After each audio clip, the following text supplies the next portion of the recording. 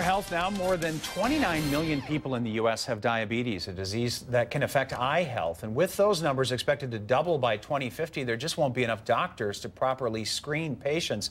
That's where UW Health ophthalmologist Dr. Yao Liu's pioneering research could make a big difference. She's trying to find ways to expand eye care through telemedicine, especially for our state's rural areas. So, Doctor, it's great uh, to have you here. Thank you so much. It's really interesting research you're doing. Tell us first, what is teleophthalmology? Sure. Thanks so much for having me on, John. Pleasure. Uh, teleophthalmology is basically using uh, new technologies such as cameras and smartphones mm -hmm. to mm-hmm. provide eye care. It can really greatly expand the ability to screen folks, um, especially in communities who may not have easy access to eye care. Mm -hmm. And you've actually been out doing this. How have you been using teleophthalmology in our state? Right, so in our program at Mile Bluff Medical Center in Mauston, Wisconsin, mm -hmm. what mm-hmm. we've done is we've put a camera in the primary care clinic okay. building so that mm -hmm. people who are going to the primary care clinic for their diabetes can actually go and get their eyes tested and mm -hmm. have pictures taken with the special camera right in the mm-hmm. same site as their primary care clinic.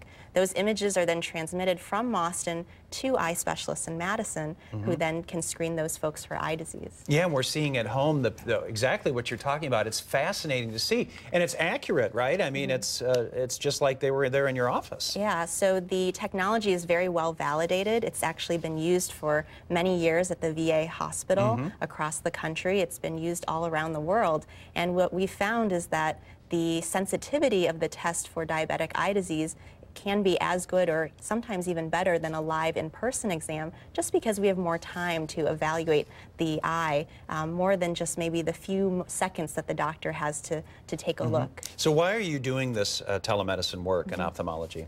Yeah, so um, the goal of our program is really to make eye care more accessible and more affordable to the people in our state. And we really want to help people get screening who may not have easy access to mm -hmm. care. They may have to travel long distances otherwise to see an eye specialist. And uh, here in our state, uh, diabetic uh, eye screening guidelines were actually developed based on research conducted here at the University of Wisconsin. Oh, great. And it's been used all around the world. And mm -hmm. so mm-hmm. our program is really an extension of a concept known as the Wisconsin idea, mm -hmm. which is that the knowledge gained by researchers is used to directly improve the lives of the people of our state and beyond. And that's a great uh, idea indeed. And people can actually find out more about this in person. The doctor is going to be giving a free talk. Why don't you tell us, we'll put up on the screen where that is, what you'll be talking about. We have about 30 30 seconds. Okay, great. So to learn more, I'm giving a talk at 6 p.m.